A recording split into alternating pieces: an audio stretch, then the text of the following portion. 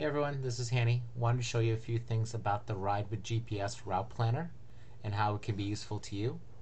There's two ways to get to Ride with GPS. One is you can click on the link on our website to the Saturday bike rides, or on some of our website pages, you can see that we've embedded the Ride with GPS uh, page here. Uh, and actually, you can do most of the viewing, planning here, and don't even need to go to the Ride with GPS website. Uh, you can look at the uh, elevation profile, the distance, uh, the grade uh, for that climb.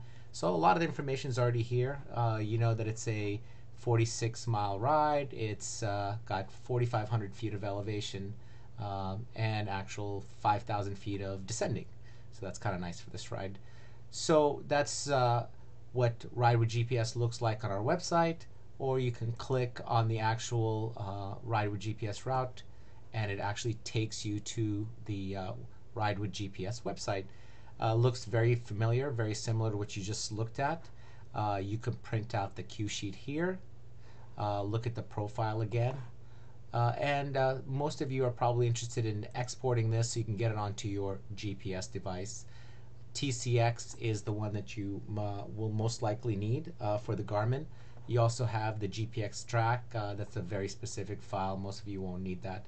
Uh, you simply need to click on the TCX course link here and you'll see that it downloaded the file. This is the file that you move to your Garmin and you're ready to go.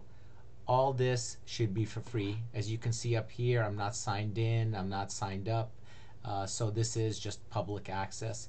When you do have to sign up is when you want to take advantage of these specific options like the reduce to 500 points or notify me before turn. If you try to select those, it'll tell you to upgrade. Uh, so that's up to you. Uh, I think that's it. If you have any questions, email me or find me on one of the rides. Thanks.